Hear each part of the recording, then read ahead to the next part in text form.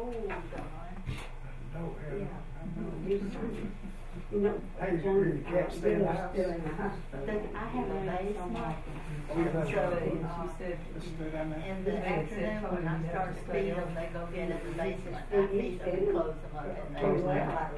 And it's, And, I put the cats in the So, and Fritz stays good, in the house. the nose was red He sleeps in his cage. blowing his nose. The dog does. And that, he looked real. He called me about four times. Out in weather like this. Yeah, I'm, I'm gonna be gone tomorrow, I'm gonna let my little dog go to Reed's. You know, Uh-huh. 'cause she, I she, do, I do that sometimes when I'm gone, I Uh-huh. take Fritz out and read. I'm down there, like, Chris Peebles. You can see Yes, around, sir. you can see around Mac. What all are you taking this semester? you're fine. Oh, I'm taking I a have to- class. I have to move, if you Why? move, and then I'm I'm bigger than taking you fitness are. walking class, weight training class, American government. You can't. And you live in Lyons? Yes, sir. Right. Be hard headed. One of the reasons I come is I wanna be an astronomer when I grow up. Well, you know, we're going to get a planetarium in Swainsboro. Really? You signed that, put your I- I- Let me tell you on it, so- something, uh, that happened No, no, last no. year, or that's happening now. letter. Uh, It's We- John, bless the heart. The former chair of, uh, Yeah, chairman of, uh, listen, I thought about gloves, but I wasn't, I go look. Get in the way of that. I can't know. Was, um, is Professor um, Robert Brown from Swainsboro's East Georgia College, where he is the, uh, would you say chairman? chair of the math and The science. chair of uh, uh, Math and Science Division, um, and uh, has uh, a long interest and uh, a long involvement in the space program, and um, he's going to take us through um, some things that he knows firsthand uh, about that. Um, I'll say beforehand, if any of you are so moved to do it, um, two nights ago I showed Mom and Daddy the right stuff, the um, the movie from the uh, 1984 about the uh, the first stages of the astronaut program, and if anybody would like to borrow it uh, from me after this, just to, to, to refresh yourself on that, I, I'll, I'll be glad to lend you my copy. Uh, do come on in. There's another good movie called October Sky. Um, October Sky is, is uh, one that's available locally. Have you seen the, um, the recent documentary, The, the Shadow of the Moon? Yes. Um, which is, is also wonderful. It's um, all the astronauts who would participate, and there are about a dozen of them, sitting around shooting debris about, uh, we're telling the same stories over and over again, but having a really good time doing it while they show footage of the, um, of the launches. Um, so um, Professor Brown is um, is going to speak, I think, mostly from a seated position because of a wrenched knee. But um, it sounded to me like his voice is going to carry. Can you hear me okay? I was in uh, Washington last week uh, on a conference and uh, went up a little early to have to spend a weekend with my cousin in Alexandria. She's right down about five miles from Mount Vernon. And uh, going down the stairs in her apartment, uh, I slipped down about three feet, wrenched my knee. So it's better if I sit down.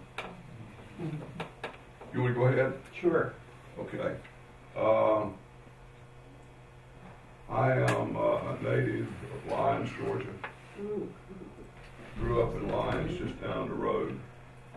And basically what I'm going to do is show you a history of technology. Obviously, I can't tell you all the history of technology. But basically, I'm going to talk about the history of technology as seen through the eyes of a Toombs County native son, so to speak. I uh, grew up in Lyons and went to this Lyons High School. Some of you may have seen it before it burned down. And it was in this high school that uh, several things happened. Um, back in uh, when I was about 12 years old, I was a ham radio operator. I believe Mose here was a ham radio operator. That's me when I was about 12 years old. My call sign was K4SEO, and some of the equipment you see here I built, and uh, some of it was Army surplus. I remember coming home from like the eighth and ninth grade and uh, getting on my ham set and talking to people all over the world. And one of the things I began to think of then was basically people were about the same everywhere. I never ever thought there would be anything like the internet where everybody with a computer and a high speed connection could see what was happening all over the world. And uh, it was just absolutely amazing how technology has taken us from the 50s. This was in the late 50s when I was uh, a ham radio operator, uh, and how technology has taken us to so many different places. Now, in 1957,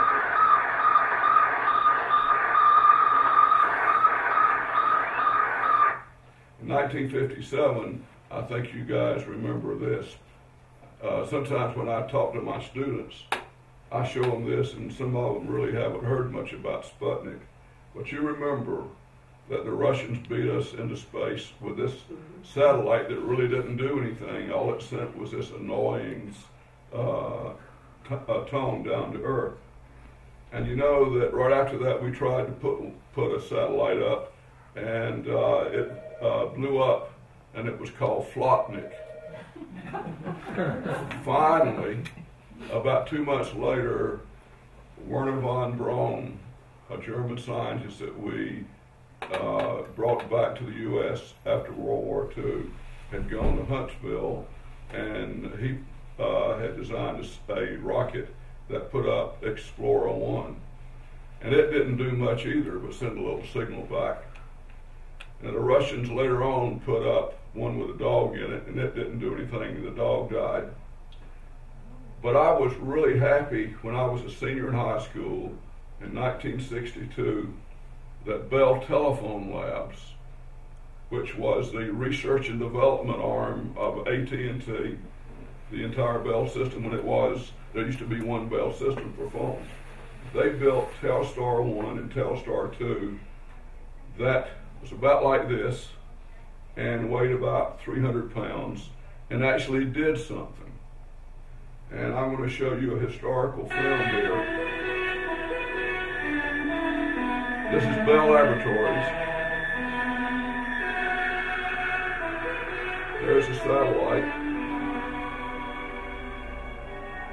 Would Telstar bridge the big pond? Command ops ready.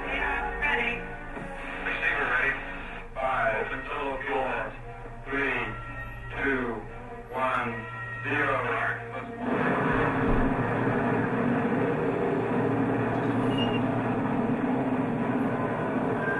satellite is in the nose cone. Good evening, Mr. Vice President.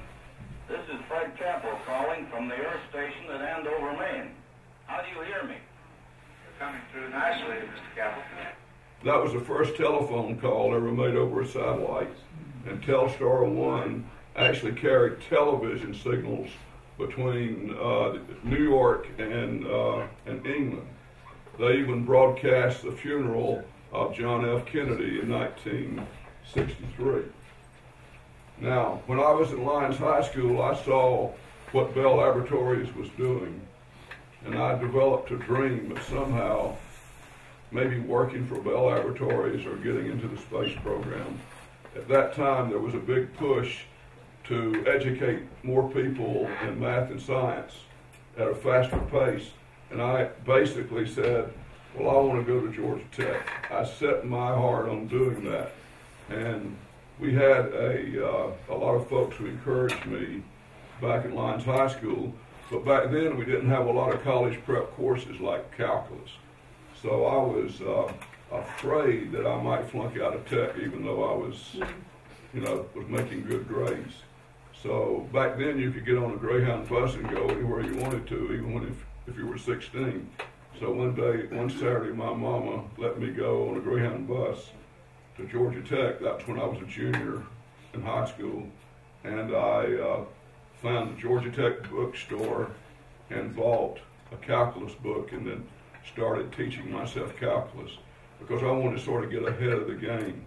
Because I knew if I got up there and was behind the game, I might not uh, be able to do as well. So I taught myself the first two courses in calculus, but I did it slow at my own pace.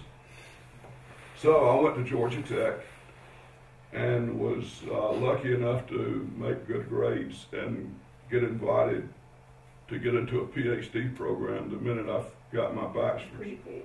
So I graduated uh, with a PhD in 1971. And I thought I had died and gone to heaven when Bell Telephone Laboratories, the company that had built Telstar 1 and Telstar 2, gave me a job. And uh, at that time in 71, it was getting towards the end of the Apollo program, and they NASA was not hiring, but Bell Telephone Labs, who had designed and built and launched the first Telstar, the first communication satellite, gave me a job, and this is a location as seen from the air. It was the largest laboratory, private laboratory in the world. There were 6,000 employees there, and I uh, basically got my wife in a little car and drove to New Jersey and lived there for the next 25 years. This is also another view of, of the laboratories, another view of the laboratories inside. The um, water tower you see there has three legs like the three uh, leads on a transistor. Probably you guys remember what a transistor is. And trans, you remember transistor radios that came out sometime in the 50s. Well, Bell Laboratories invented the transistor, and their scientists, the three scientists that did it, got the Nobel Prize for physics. In fact, Bell Laboratories has more Nobel Prize winners than any other private laboratory in the world. This is actually a place close to where I lived. You may, I, I, could tell you a lot of other history, but it was in this location that in about 1969, two years before I got there, the uh, background radiation of the Big Bang was discovered. And Arno Penzias and um, Bob Wilson, a couple of colleagues that I knew, got the Nobel Prize for physics uh, later on in about 1977.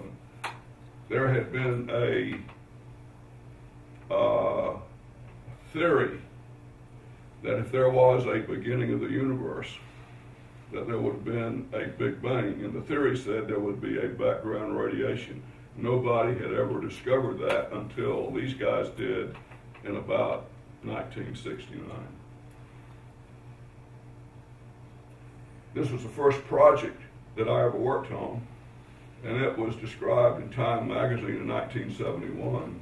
We were going to put a quarter of a million telephone calls through this two inch pipe. We would have to bury it in the ground uh, all the way from the East Coast to the West Coast. It worked great. Um, this is Harry, a guy who ultimately worked for me after I became a manager, and that's me in the back, and we're testing the first system, and it would carry 230,000 digital voice channels. We thought it was going to be the best thing since sliced bread. But what happened was, it worked great, but fiber optics, which you may have heard of, and satellites and other technologies supplanted this system. We only built 20 miles of it. Okay? So I was pretty happy. Well, let me show you another couple of things. You may have heard of Unix, the Unix operating system, which uh, probably Unix and Linux are the two most used operating systems on the internet now. The guy who invented that was Ken Thompson. I worked with him. And then the guy who invented C programming language, Dennis Ritchie, I worked with him also. This was my first computer that I ever had. And if you got anybody here has bought a computer lately, you know that you would buy it with about a thousand or two thousand megabytes of RAM. Well, mine only had .012, but that was back in 1971. I finally got to work on satellites, and here is a news uh, report on on uh, some work we had done in research to try to get more telephone signals and more uh, video signals over a satellite. And we were able to quadruple the yield of the satellite. And this is me with a little less gray hair with a few people in my group. Now, I thought I had died and gone to heaven again when in 1977 they asked me if I would lead the group to design the payload for Telstar 3, the successor to those small satellites you saw. And uh, I said, sure, I'll do it. I may even pay you to let me work on it. This satellite, instead of being 300 pounds, was 18 feet tall, weighed 3,500 pounds, and had to be launched on the space shuttle. By this time, the space shuttle was available, and we wanted to use it, so we began to work with the astronauts and work with NASA. And there in the back seat, we had a back seat on the shuttle, Telstar um, 3D. This is where our satellite sat. And you probably remember back in those days, we weren't sure the shuttle was going to make it you know, on time to launch our satellite. So we went out to California, and I actually sat in the pilot seat, and uh, we looked at the problems they had with the tiles on the bottom of the shuttle. Now, something's going on here.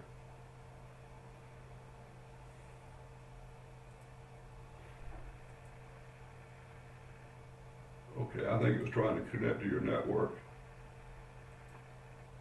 Okay. I was trying to connect to the library network a while ago, and I think it was still trying to do it.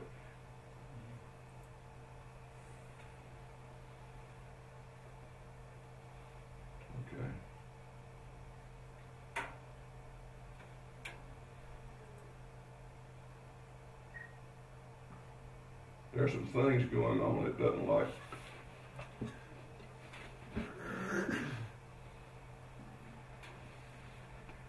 Let me disconnect from the network.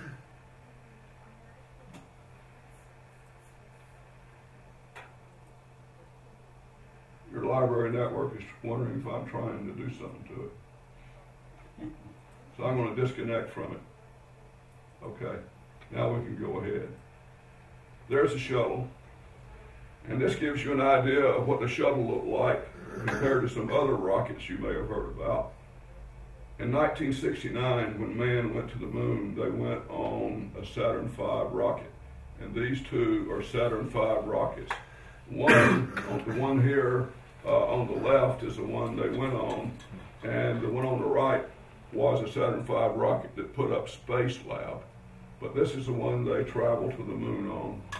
And here you see the shuttle system, and uh, this is back here in the back is where Telstar 3 went.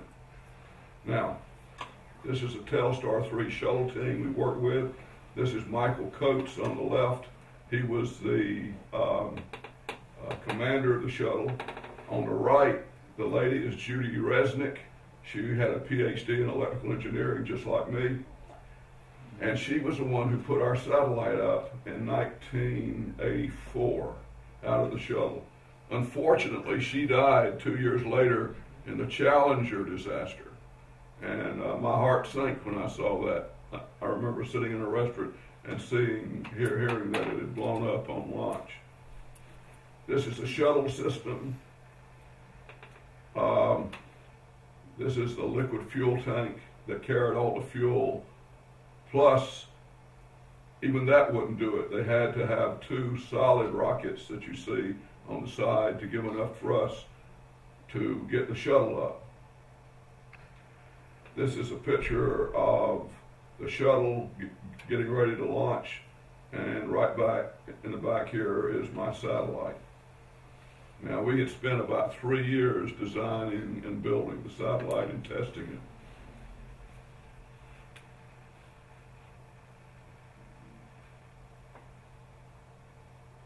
Firing chain is armed. Sound suppression water system is active, being activated. Station systems on. T minus 10 seconds. Go for main engine start. Seven, six, five. Three engines up and burning. Three, two, one, and liftoff of Space Shuttle Discovery, beginning America's new journey to the moon, Mars, and beyond. And the vehicle has cleared the tower. Roger roll, Discovery. Discovery. Houston's now controlling. Commander Eileen Collins confirming Discovery's rolling onto course for rendezvous at the International Space Station. Now, this is a view from a camera that was put up on the shuttle looking back at Earth. The shuttle is going to take the satellite up to about 150, 200 miles above Earth. And uh, it will have to go 17,500 miles an hour before it can break free of gravity and go into orbit. So that's how fast it's got to go to go into orbit.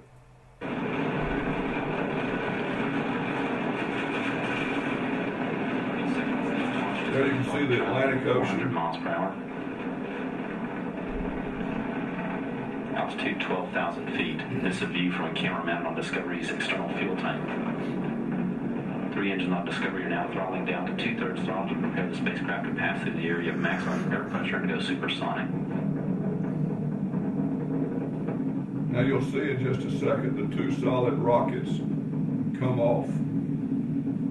They'll burn up. One come minute back since launch, Discovery speed now 900 miles per hour. Discovery, Houston. It's still going pretty slow. All systems remain go for Discovery. Altitude now 9 miles, 6 miles northeast of the launch pad.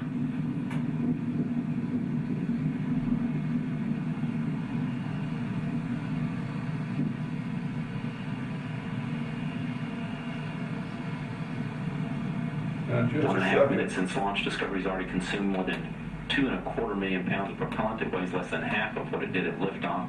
Speed now 2,000 miles per hour. Altitude up 18 miles, 14 miles northeast of the Kennedy Space Center.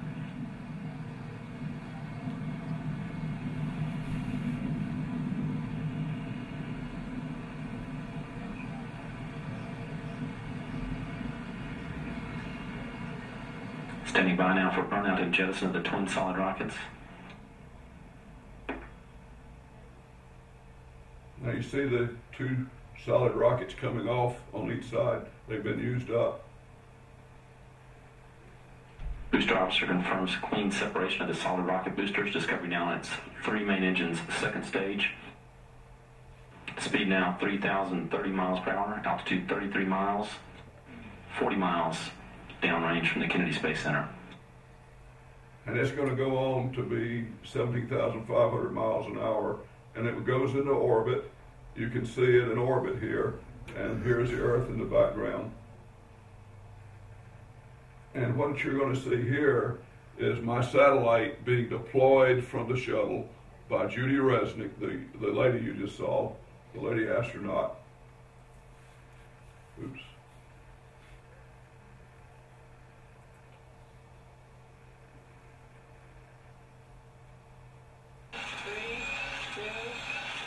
Now what you see is this is the Earth on the left. You see the shuttle here, and you see the satellite spinning up. The antenna on top of the satellite is folded down. It'll be deployed once we get it into final orbit.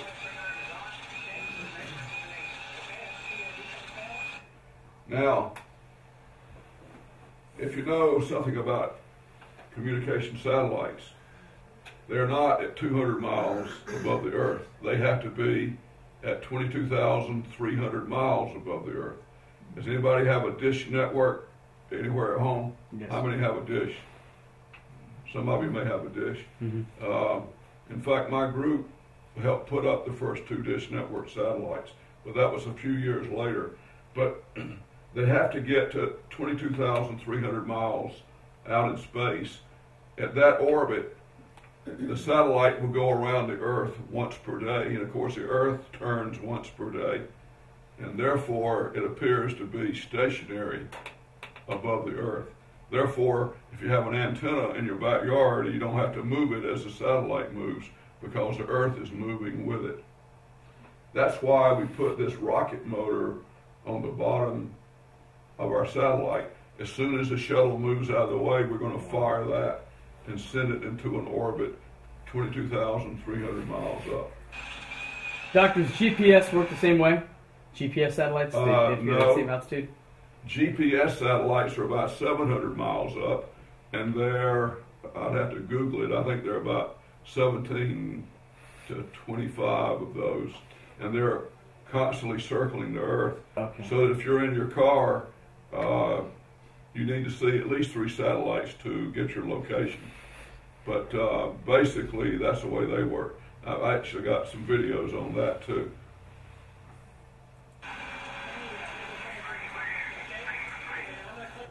In the next scene, you're going to see Judy floating around in the shuttle, communicating with the satellite, making sure it gets out correctly. The communication satellite is deployed by Judy Resnik and photographed by Mike Mullane. See her floating around? Discovery Houston, good news, Steve. Uh, We sent an IMAX camera up into the shuttle, and after they shot the footage, we even had Walter Cronkite. You heard his voice uh, announcing what was going on. But here's the shuttle. Here's the the, uh, the satellite with a rocket engine in the back. Shuttle's going to move out of the way, and we're going to put it into orbit. we're watching it, a lot of smiles down here. Yeah, there's a lot up up here too. So we put two of these up on the shuttle, and because the shuttle was a little late, the very first of them went up on a rocket.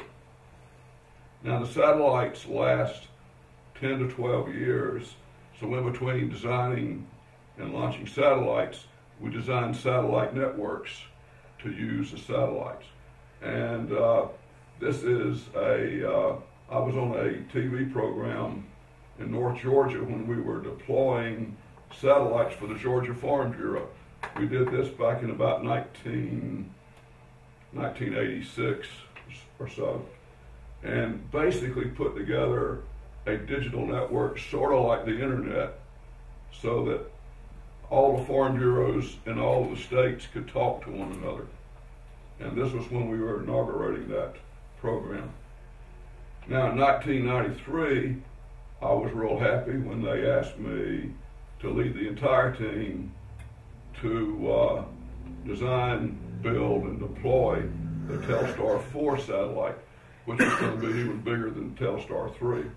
This satellite, you can see the solar panels in blue here to provide power.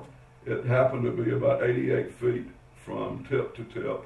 The satellite weighed about 7,800 pounds and cost us $100 million per satellite. And by this time, since the shuttle had had these problems, we could not use a shuttle to put it up. The shuttle could not fly as often as we wanted to. So we had to buy some rockets. Uh, we bought some American rockets, some Atlas Centaurs, and they cost $100 million each. And we did three of these, so I had to do a lot of good mathematics, a lot of good testing, a lot of good science to make sure that this $600 million worth of uh, satellites and rockets would work. Where did all that money come from? All that money, well, it, it came from AT&T uh, that I worked for, and of course our budget, at that time, we were like a $70 billion company. That's what our revenues were. When we used to have all of the long distance, we used to uh, have all the local, and, and just about everything. And of course, we've been broken up a lot of times.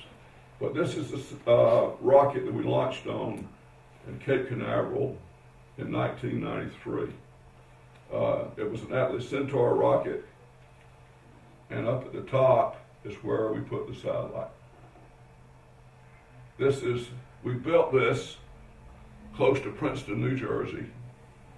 Uh, this is me in a crazy suit here. You had to be real clean when you worked on these. And the back is a partially built satellite.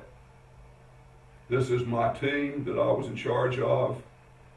One of the things I'd like to point out is when we hired people to do this, I could not find enough Americans that knew rocket science and mathematics and this technology.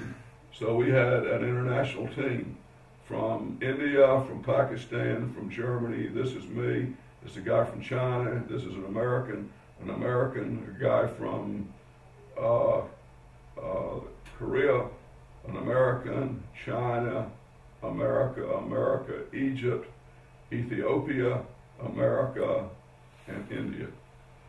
One of the things I like to say is we are not educating uh, our students and getting them interested in how the world works and how mathematics works. And we, we've got a long way to go if we're going to, to stay up with China and India right now. This is uh, the, some pictures of how we were building the satellite. This is the very basis of the satellite with, uh, with fuel tanks, oxidizer tanks, the propulsion system. Then we began to build the communication system. It literally took a large team to do this, a $100 million project with about three years to build it. And uh, I think there were two or 300 employees of what is now Martin Marietta or Lockheed Martin. At that time, it was Ford Aerospace, and uh, there's been quite a lot of changes in the aerospace industry in the last 10 or 15 years. But here we are building everything. Here is a picture of my last boss before I left New Jersey. He was Terry Hart. He was an astronaut. He came to the laboratories about the same year I did. He was a mechanical engineer. I was an electrical engineer. He had been a pilot, so he volunteered tr- to try to get into the astronaut program, and lo and behold, he was successful. He went off on a couple of shuttle missions, then came back and led the business part of the satellite venture, and I led the technical part. Now, as I said, um, we couldn't get enough uh, American rockets all the time. So we went to the French and paid $200 million for two of their rockets. And the French launch from French Guiana, which is right off the equator down in South America. Turns out the closer to the equator you are, the less energy it takes to get one of these rockets and satellites to go around it. Now, here the satellite is sort of all bundled up, ready to go into the nose cone of the rocket over here. These are the solar panels folded up, and here's the antennas folded up. And here, I'm going to show you the launch we had in French Guiana. Uh, and I was the spacecraft director at this particular time.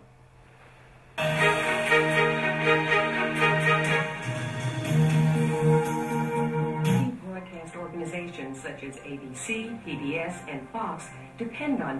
These were the companies that used our satellite. To network affiliates and member stations across the United States. The Telstar family also transmits programming for major broadcast syndicators, as well as major cable programmers who deliver directly to the home. And AT&T and PBS have teamed together to create an exclusive distance learning neighborhood providing lifelong learning opportunities to students of all ages via satellite from anywhere It's a across the tricky operation, and it is a mammoth building. I think it's 8,000 tons. Now this is the French rocket called the Ariane. 3,000 tons. 3,000 tons. It's 18 meters high. Still very heavy, though. Still very heavy. The biggest uh, metallic structure ever built in uh, Europe, if one counts French Guiana as being Europe. One of the first tests after our We're basically checking the satellite out and make sure it's ready to go into space. Because once you get it up there, you can't go get it. arrival was the fit check between the spacecraft and the Ariane flight adapter. Mechanical and electrical checks were conducted by the Martin Marietta and Arianespace teams. Martin Marietta Astrospace conducted its spacecraft electrical checks, thoroughly verifying correct operation before proceeding to the propulsion Everything is system testing. There's green lights everywhere. These were some of our customers that we flew down to South America. They wanted to watch the launch. That's at uh, nine seconds before the uh, lift-off time? Well, since these things, even uh, even when they are high tech, uh, they do have some drift. This you don't want to release them too early with a too little long less to, right to, uh, to build up an error. So that's why you release them at the very last minute before launch. And of course, at minus five seconds, we will have uh, the opening, as we said before, of the uh, cryotechnic arms. EMT, and this is Bob Brown, the Telstar 4 satellite program manager.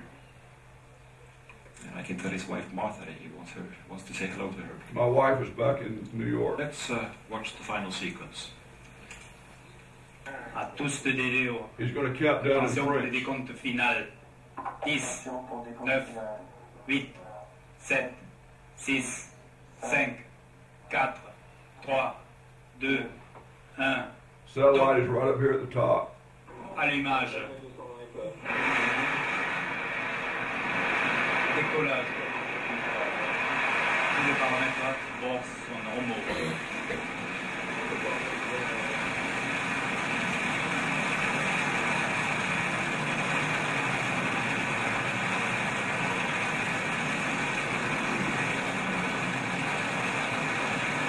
Tous les paramètres bord sont normaux. Trajectoire normale.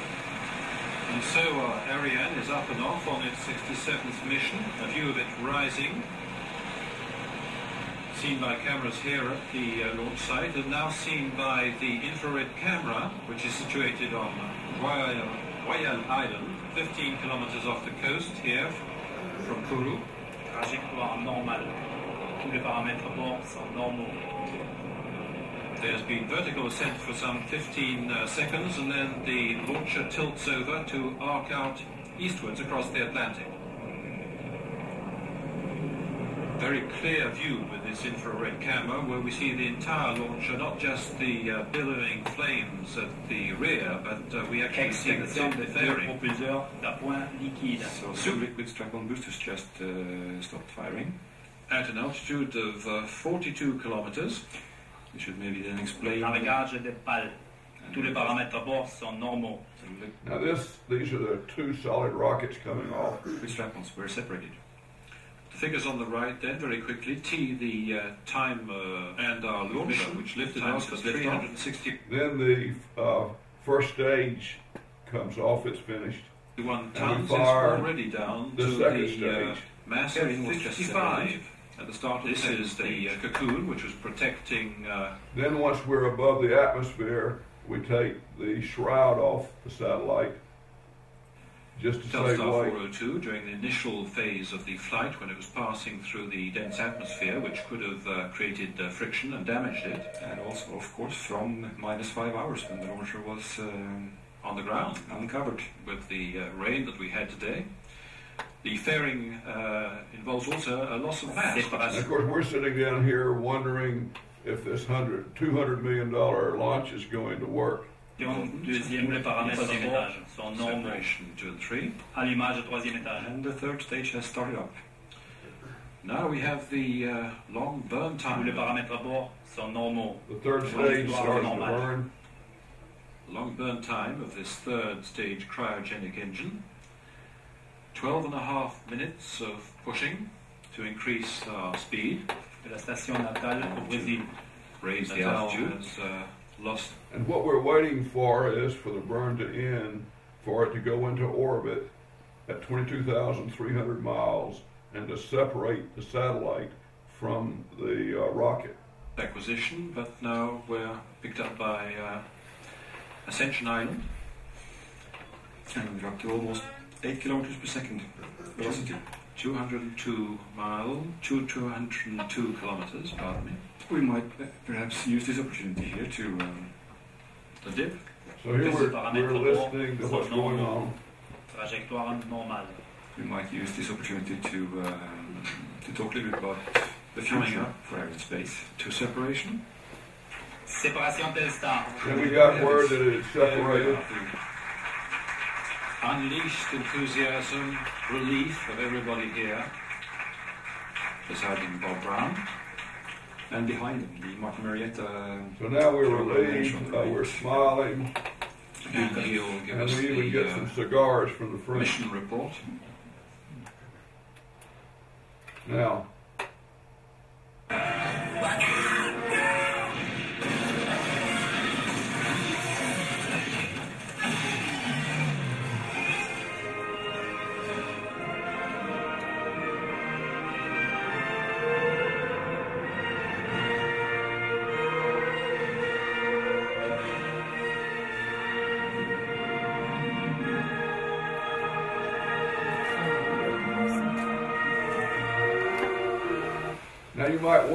in the world am I showing Jurassic Park when I'm talking about technology? Well, it turns out that in 1993, when we built this satellite, it was the largest uh, com- uh, commercial satellite ever launched. And Steven Spielberg, who was the director of Jurassic Park, had the idea that he might be able to send uh, his movies through satellites to theaters. And so he called, he didn't call me, I don't know Steven Spielberg, but he called the uh, CEO of our company and asked if we would work on that possibility. So it took a lot of folks to look at really uh, high definition projectors, ways to send a lot of bandwidth through our satellite and do it efficiently. We worked on that part, and after we looked at the whole project, we added up all the costs, and it cost too much. Now that was in 1993. Now everybody here knows what has happened in the last uh, 10 or 15 years with technology, with getting more and more transistors on a chip, uh, getting a lot of things done in just a small space. And now it's very possible to do this. In fact, several directors are already sending movies uh, through the satellite to theaters. But you also know what's happening. Everybody's buying their big screen TV, right? And getting it directly from the satellite to their home. So who knows how long movie houses are going to be going on if everybody can have a very large screen, high definition TV. But we worked in 1993 on putting high definition television through satellites. And Jurassic Park had was uh, in the theaters at that time. And so I tell my students, you know, all kinds of things can be done with computer animation, and I talk about Jurassic Park and all the things we're done here. And so after Telstar 4, we, after we had uh, launched three of them, that was in 1995, I began to think of coming back home. And so I actually transferred within the same organization to Atlanta and stopped working on satellites after 25 years and decided to do research and development in high speed fiber optics. By this time, the internet had gotten started and there was a need for very high capacity uh, fiber optics to connect all the continents. So one of the things I worked on was what we call submarine fiber optic cables. If you look up here on the left, a fiber optic uh, fiber is the size of a human hair, about 250 millionths of a meter. Through that, we can get 20,000 million bits per second, 20 gigabits per second. Uh, at one time, we could only get about 50 megabits. So this made the internet possible. And when I first went to the lab down there, we had one cable under the Atlantic and one under the Pacific. And all of the new technology that was becoming possible, we began to lay cable that we designed in all the oceans and circle the continents. And that's why you can talk to anybody, anywhere, anytime, just like it was next door. And I think uh, AT&T put in about a third of all of these. Now, after doing that in 1998, 1999, I was sort of anxious to get back into the wireless world. You remember ham radio and satellites are wireless. So I went down to Georgia Tech, where where Lucent and AT&T had a wireless network design. We were designing the first Wi-Fi. In fact, what we were working on was the Wi-Fi technology that goes in all your laptops now. In fact, some of my technology is in is in this uh, uh, laptop. In fact, when we designed it, it cost about three or four hundred dollars in 1998 to, to put this in a laptop. Now it's probably about twenty dollars or less. One of the things I wanted to tell you that I was looking for software and hardware developers to help build this Wi-Fi equipment, and I could not find, no matter how hard I tried, enough Americans to do this. So where do you think I went? We didn't go to India because we could just pay twenty-five thousand dollars a year for a software developer. If it was if it was in the U.S., I'd pay them about eighty-five thousand to a hundred thousand a year. We just couldn't find enough of them, so we went to India, and uh, I got to visit the Taj Mahal, probably one of the most beautiful pieces of architecture I've ever seen. And um, this is my team in Atlanta that tested and uh, delivered this technology to our customers like Dell, HP, Toshiba. Probably we had most of the market at that time for the wireless uh, uh, for the wireless technology. This is some of the stuff we, some of the equipment we delivered to Dell, and it's the same kind of equipment that's in this library right now, so people can connect wirelessly. In fact, this is Dell's own web page selling our equipment. Now, in, in the year 2002, I decided it was clo- it was time to get a little closer to home. I sort of sensed we were going to break up again up there in the you know in AT and T and in Lucent, and that my comp- my part of my company might get sold, and indeed it did about two years after I retired. So I got out at about the right time after 31 years doing research and development, and had thought when I was in high school that someday I might like to come back to Toombs County or or a neighboring county and encourage students to get into math and science and technology. And so that's what I, I want to show you something else in a second. I'm going to come back to that slide. But I'm basically home again. I came down here as a professor at East Georgia College about seven years ago. And about a year and a half ago, they asked if I would be the chair of the Math and Science Division. And I'm glad to be close to Toombs County, close to my home, and being here with all these great folks. There is a slide I wanted to show you that sort of says it all.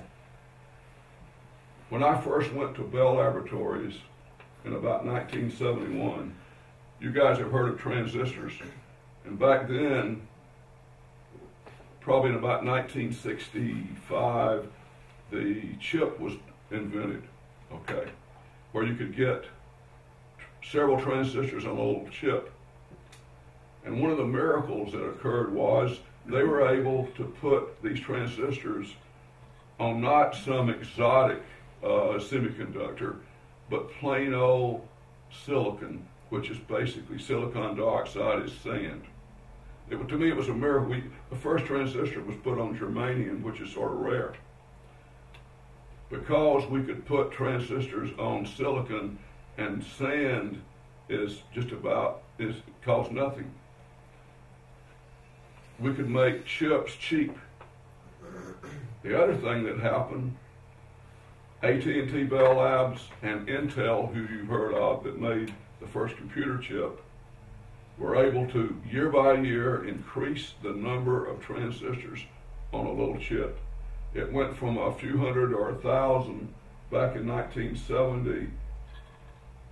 Here in the year 2008, we can get two billion transistors. It just blows my mind. That's why you can buy a GPS receiver for under $100.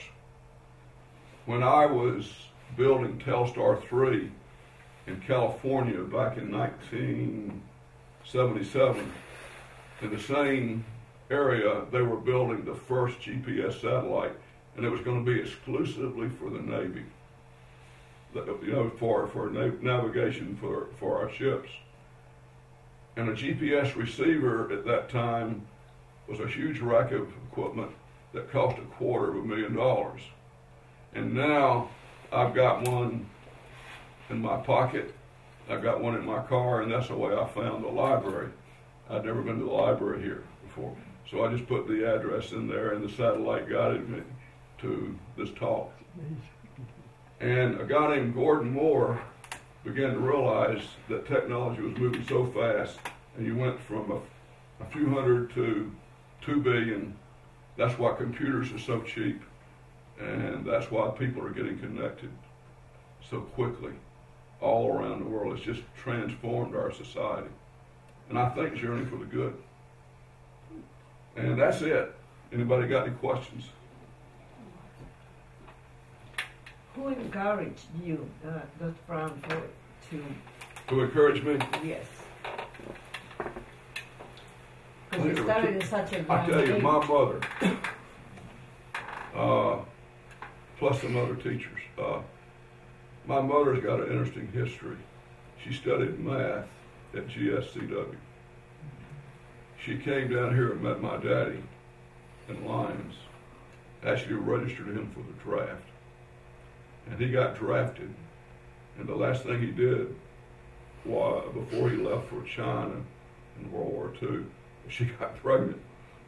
And so I was born while he was in China.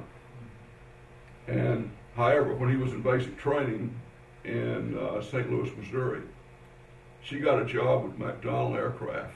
She couldn't be an engineer, but she did some mathematics and did calculations for the engineers who were designing the first jet airplane ever to take off and land on an aircraft carrier. And she came when when when I was born, and by the time I was nine or ten years old, she was showing me how to solve a few algebraic equations, simple ones. Okay, so I just got enthralled with that, and I had some good teachers in Lyons High School. Uh, Mrs. Merle Wilkes, I don't know whether you know her, and uh, she was my math teacher, and uh, Mr. J.H. Collins was my science teacher. And although we didn't have all the things that the big schools had, I had a lot of encouragement and uh, a lot of support. Plus, there was a um, Marion Carson, who was assistant postmaster in Lyons. He was a ham radio operator. He taught me how to be a ham when I was like 11 or 12. And that got me interested in technology. But a lot of people, I had a lot of persistence. Um, and I, I wanted to do this. So I worked on it and had a lot of help. We need for you to go around the schools and speak to young people, to encourage them to. Yes. We really I- do. I There's- talked to a lot of young, a lot of students uh, at various clubs. I'll talk to anybody. I, I think I've got several other things we could talk about if we had time, but we need a transformation in this country about our attitudes about education, about working hard, uh, about really studying. Okay. I think the sports is very is, is important, but I think this is, is more important than sports to me. Yeah, I. I, I enjoy sports and I'll pull for Georgia Tech when they play Georgia. But you know, it, it matters nothing Right. in the final analysis. It doesn't really matter. What matters is how we can educate ours, our children. Uh, in, in fact, getting the whole world educated and brought together. There are all kinds of um, projects we could work on. But right now, we want to buy better looking cell phones, you know, uh, all kinds of technology that's, that's interesting, but we could be using that to, to, to make peace. Uh, I sort of thought, my daddy was in World War II, it was a very rough war, okay? And I saw using these satellites that had a payload of something that would bring some peace and, and communication, as opposed to delivering a nuclear bomb. I saw this sort of biblically, and, and you look in Isaiah, it says, and they'll turn their swords into plowshares and their spears and into fishhooks. I saw this ICBM missile being turned into something for peace. So I thought that what I was doing was sort of helpful. And thank God we have never had to deliver a nuclear bomb anywhere. And I hope that it never happens. Okay? That's right. But uh, anyway, have I talked too long? No, I Yes. For, for what it's worth, I'm, I'm a teacher at Vidalia High School. I teach economics and history, and uh, and I was having a conversation with our students this very day about much of what you're talking about, the uh, the lack of direction and the presumed lack of ambition. Sometimes And, uh, I think we get spoiled. Even I can get spoiled. You know, we are so affluent. You know, Right. uh, we need to restrain ourselves. Uh, questions that I had, and Yeah. I guess they're related. First of all, uh, where do you see technology going with respect to satellites and and uh, you know the practicality of our technology, and, and more specifically, do you see any time coming up soon where Wi-Fi will stretch across the country, where we'll be able to drive across the desert and access the internet on a laptop? Well, there will be some kind of wireless technology that will be available everywhere. In fact, it may not be Wi-Fi, but there's something called 3G, third generation wireless. Now you can go down and buy a uh, cell phone that can do about a megabit per second. Okay, if you connect through some of our networks, and uh, it's going to be even more, get even faster. Now you said something satellites. Okay, some a lot of people don't know all the things that satellites have done for us. I've got another little presentation, which I don't know that we could put in here tonight. It was another 20 minutes about sort of the history of satellites itself, and it embodies weather satellites. You can't imagine the impact that weather satellites that are just uh, a couple hundred miles up telling us what's coming. I know they can't tell us if it's going to rain in five days from now for sure, but they're they uh, we just couldn't do without them now. Then there are communication satellites, and now communication satellites basically send television. I love uh, to use uh, DirecTV or uh, what's it, the Dish Network. In fact, when we were building Telstar 4, the guy who started Dish Network, who, who was pretty small back then, asked the labs if we would shepherd his two satellites through. So we were responsible for the first two Dish Networks, and now the guy's a billionaire. And um, I basically subscribe to anything that's worth anything. I get lectures from around the world, you know, being through the Dish Network. There's all kind of things for education and communication. Then there's the GPS. I tell you the story of the GPS. The first GPS receiver was a quarter of a million dollars, and, and now you can own your own. Okay? So I, I, I really believe that technology is going to take us a long ways. I believe the blind is going to be able to see, deaf are going to be able to hear. There are going to be things that we can't even imagine. Okay? If, if we'll just work on them. What else? Will you come back and show us more? This is one. What, whatever you would like. Okay. I, I give a talk on why the world is flat. Have you have you ever seen the book by um, uh, Friedman, uh, the New York Times? I, I actually went down to Savannah and talked with him when he was giving a talk, and it, to me it was a little funny because I could see the world was flat a long time ago. Uh, and he wrote this book, though about six or eight years ago. It's really very well written, and um, how China and India are educating their kids better than we are, and they come over here and are so excited about math, so excited about science. The other day, I registered a girl from Vietnam who had been a refugee here at one time.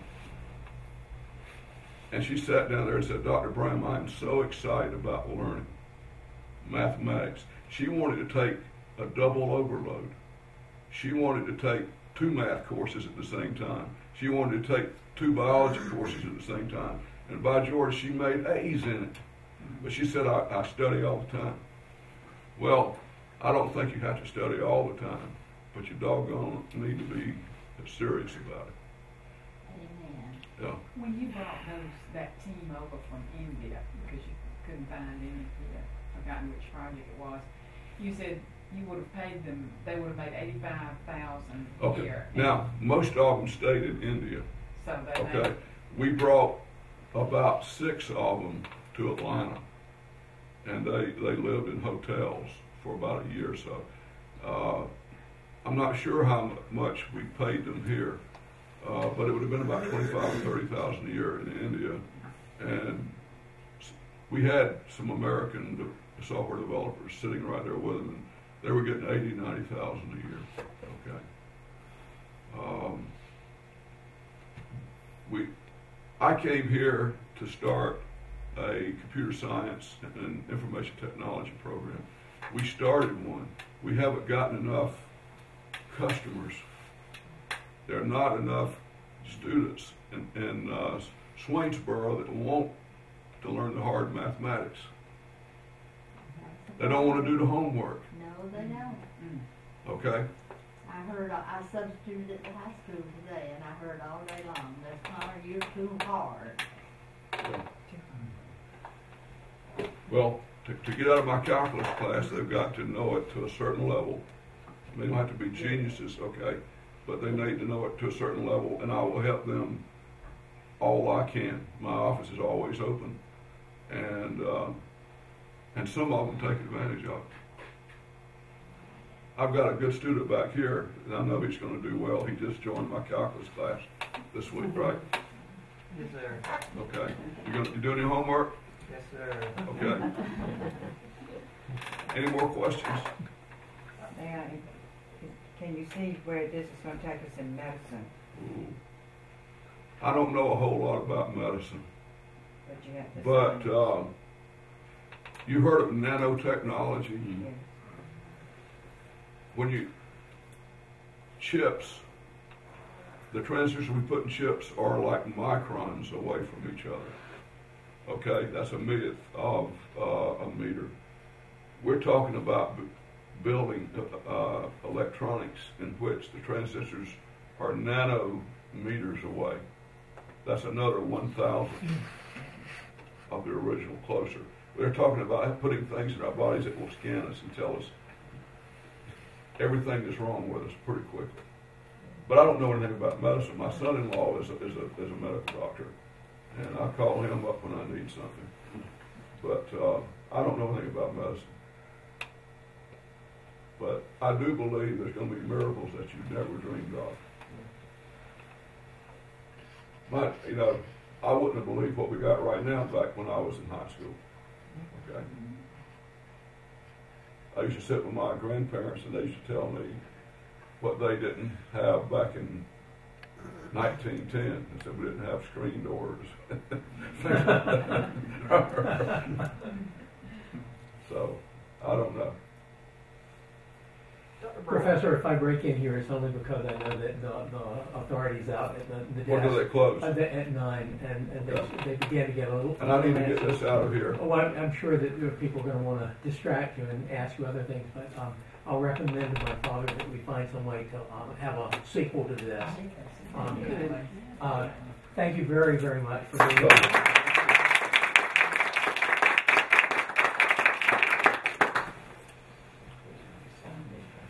I'm gonna stay and help you if you need that. Well, I'm going to figure out how to get everything back in its place. Yeah, well, we've gotta get things out of your car.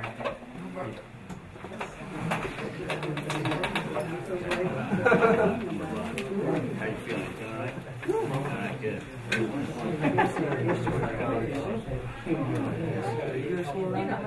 Thanks so much for coming. Okay, thank you. You're right there with the rubber piece of road. How I got my card on that. I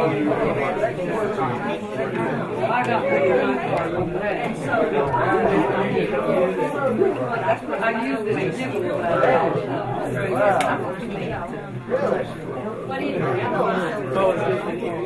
Well, we could take you,